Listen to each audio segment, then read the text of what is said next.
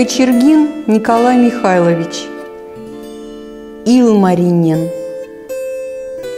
1967 год. Илмаринин. Один из героев страны Калевалы. Верный и неизменный помощник Вяйнемюнина. Искусный кузнец, выковавший небосвод – и мельницу Сампа.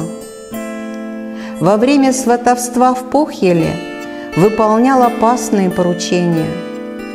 Пахал змеиное поле, ловил медведя Тони и волка Маналы, добывал огромную рыбу из реки Тони. Он выполняет задания благодаря советам девушки, и хозяйка Похелы Лоухи – выдает за него свою дочь.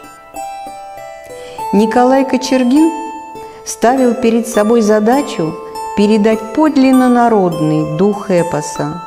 Во многом ему это удалось.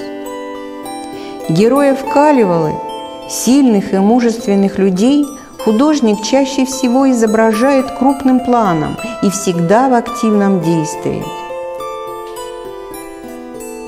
Монументальные образы колевальцев, созданные Николаем Кочергиным, по своей физической и духовной силе сродны русским богатырям, которых он блистательно рисовал, иллюстрируя русские былины.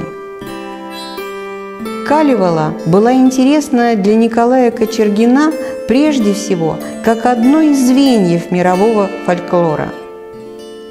В каждой его работе сохранялось главное – Эпическая мощь и сила образов героев, напряженная динамика их борьбы с темными силами Похьелы –